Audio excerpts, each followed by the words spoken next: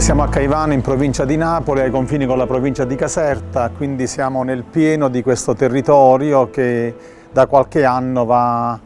eh, sotto il nome tristissimo di Terra dei Fuochi.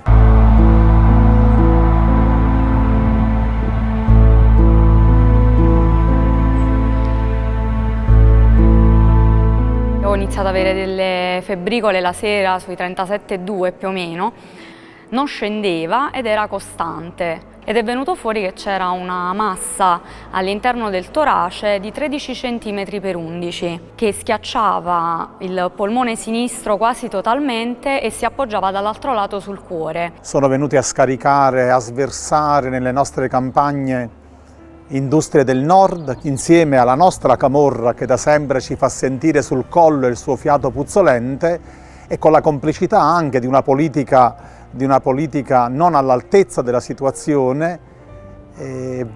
ha interrato nelle nostre campagne eh, milioni di tonnellate di scarti industriali. Siamo a Villa di Briano e noi abbiamo individuato una discarica seppellita sotto un campo agricolo, una discarica di rifiuti speciali e pericolosi. Stiamo parlando di circa 100.000 metri cubi di rifiuti. Questo è un esempio